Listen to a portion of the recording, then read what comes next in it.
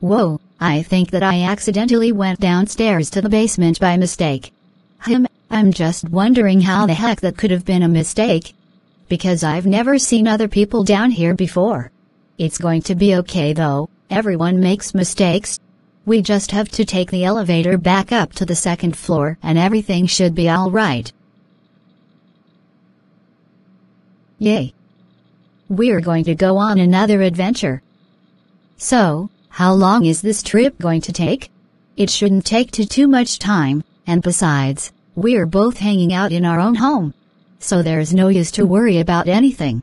Hold on, didn't Jake tell you about the new series that'll be coming up on PodTube? No, but I'm pretty sure that the other group members are trying to come up with new names while they're at school. Guess who's gonna be starring in the new PodTube series? That's right, me. Ha ha, that is so hilarious Bunnie.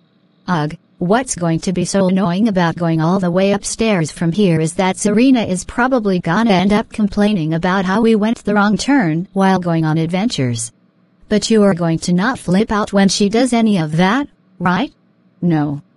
Please don't make me sad, I don't want you to get angry at me. Really? Do you really think that the whole puppy eye thing with a sad face would work on me? No, of course it doesn't. But I'm pretty sure that you're just gonna make me take the stairs instead of going on the elevator. Fine, I guess I won't flip out on Serena today. Yay, okay then. Let's go right now.